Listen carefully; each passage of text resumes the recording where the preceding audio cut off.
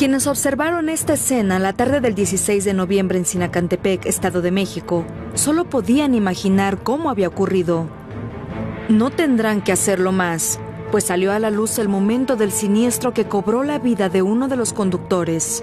Ocurrió sobre la carretera Toluca-Temascaltepec, a la altura de Calzada del Pacífico, en la comunidad de San Juan de las Huertas. Rumbo a Toluca, el auto gris intenta rebasar, pero pierde el control e invade el carril contrario. Embiste desde la parte trasera al vehículo rojo cuya parte superior se desprende y salta en pedazos por el impacto. Se observa descender a los dos tripulantes del auto gris. Sin miramientos, se dan a la fuga. Cuerpos de emergencia y elementos de seguridad municipal acudieron al lugar. Certificaron que el conductor del compacto rojo perdió la vida al instante del choque.